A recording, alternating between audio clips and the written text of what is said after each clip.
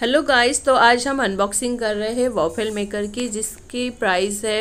पंद्रह सौ चौंतीस ये हमने ऑनलाइन फ्लिपकार्ट से बुलाया है